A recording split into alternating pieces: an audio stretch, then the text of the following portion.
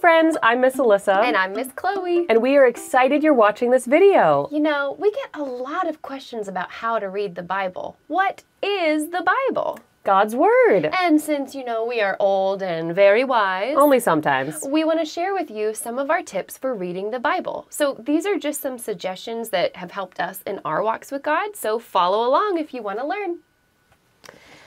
Therefore, encourage one another and build each other up, just as in fact you are doing. Encourage. Encourage. Where can I find that word again in the Bible? Hmm. I guess I'll just start with Genesis and just read all the way through. What are you doing, Miss Alyssa? Oh, encourage. Oh, hi, Miss Chloe. Um, I have a friend who could really use some guidance in how to live her life in a specific way. And I found this word encourage in this verse. Therefore, encourage one another and build one another up, just as you are doing. 1 Thessalonians 5, 5 11. That's one of my favorites. I love it. And I want to find other verses that have to do with encouragement because maybe those would help my friend too. But that would mean reading through the entire Bible, although I'm already on track to do it in a year. I think my friend could use some help now. There's a lot of pages. Well, I think I know what can help you. May I have the Bible? Yeah. Welcome to the land of the. Wait for it. What? The land of the. Drum roll, please. Concordance. The what? The concordance. So the concordance helps you go on a treasure hunt and find specific words or verses in the Bible. It's kind of like a treasure map, but hmm. for words.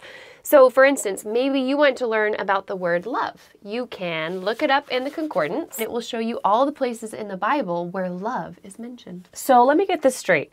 If I find a word and I want to read more about that topic, I can find it in the concordance. Yes, and you should know usually the concordance is in the back of the Bible.